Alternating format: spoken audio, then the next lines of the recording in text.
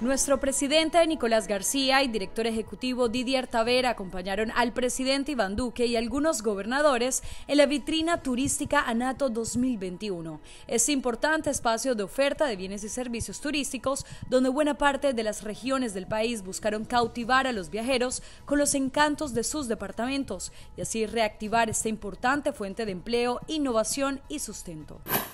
aportar a la reactivación segura de todos los territorios a través del turismo y el consumo de productos locales fueron las premisas de nuestro presidente y gobernador de Cundinamarca, Nicolás García, durante su intervención en la inauguración de la vitrina ANATO 2021, en la que Cundinamarca es destino nacional invitado de honor.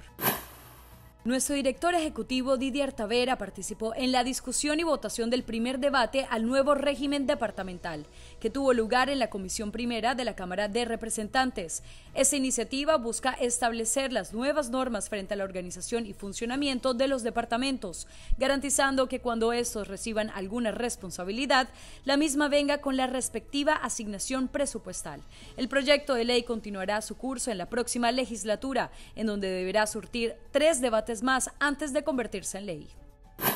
Los secretarios de Hacienda, jefes de rentas y equipos técnicos de los departamentos participaron en el conversatorio sobre propuestas legislativas para el fortalecimiento de finanzas públicas, un espacio liderado por la Federación Nacional de Departamentos, en donde se puntualizó en la importancia de grabar los cigarrillos electrónicos y vapeadores, entendiendo que el impuesto al consumo representa el 45% de ingresos tributarios de los territorios.